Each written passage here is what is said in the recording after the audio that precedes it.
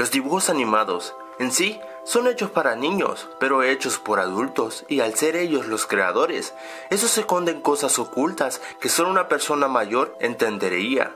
En este caso, tocaremos la saga de Toy Story, a pesar de que en los siguientes años saldrá otra. Pero no importa, en esta saga han puesto muchos chistes para adultos, que como dije antes, los mayores entendemos. Así que te presentaré 11 chistes para adultos encontrados en las películas de Toy Story. Si eres un menor, descuida, te lo explicaré. ¿Qué te parece si consigo a alguien que vigile las ovejas esta noche? Ah, bueno, sí, es que, eh, bueno...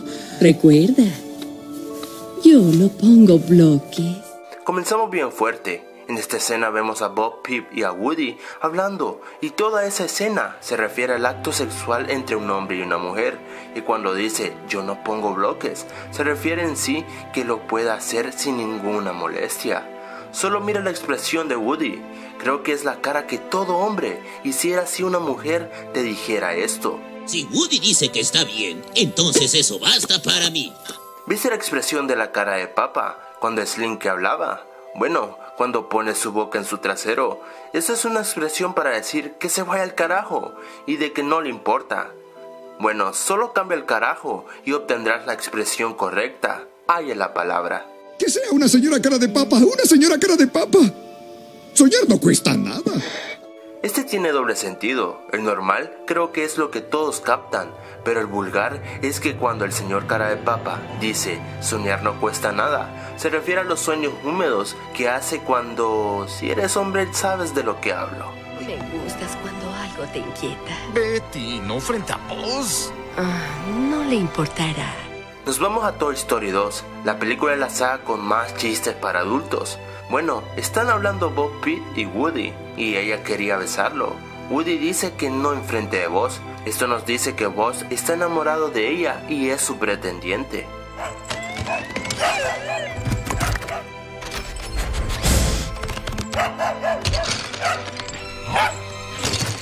Esta es bastante obvia. La señora cara de papa y el señor cara de papa escondidos en una casita besándose.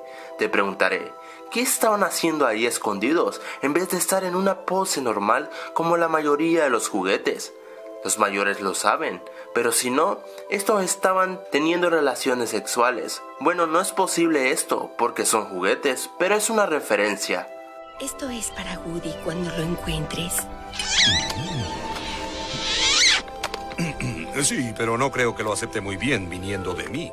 Esta es muy complicada de decir, ya que muchos pueden pensar que es discriminación, pero no lo es. Cuando le dice Bob Pig a Buzz que le dé esto, luego esta proceda de besarlo a Woody cuando lo vea. Es claro de qué se trata, o es infiel con Woody, ya que en la película ellos están como pareja, o quieren que Buzz le dé un beso a Woody, algo que se viera muy horrible en una película de niños.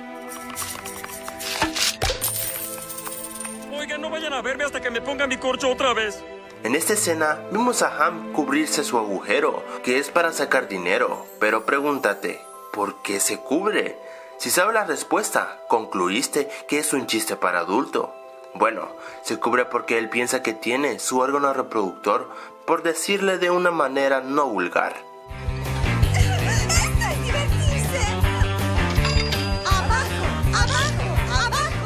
Aquí nuestros protagonistas encuentran a muchas Barbies en bikini, pero ¿por qué abrieron la boca?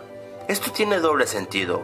Uno es de asombro y la otra es excitación por ver muchas Barbies en bikini en un solo lugar.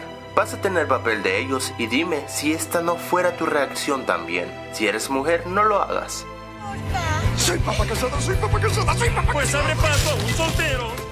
Esta escena es muy clara para los mayores, más si están casados, pues aquí vemos como señor papa dice soy papá casada, soy papá casada, soy papá casada. Y lo dice para no caer en tentación al ver a la Barbie. Luego Ham dice dale paso a un soltero, simulando que este podía tener oportunidad con ella. Es algo gracioso.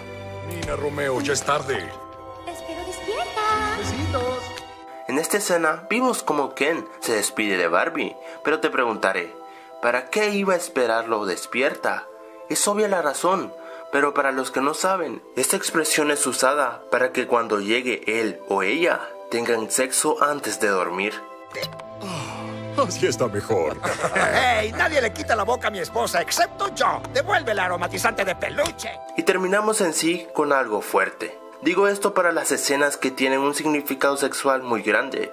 Cuando dice señor papa, nadie le quita la boca a su esposa, excepto él. Se refiere a... Los grandes lo saben y los de mente pervertida también. Así que si sabe el significado de esta, ponlo en un comentario, ya que las demás te las expliqué. Regálame un like si el video te ha gustado, compártelo con todo el mundo, dale like a mi página de Facebook y suscríbete a este canal por más. Nos vemos hasta la próxima. Bye.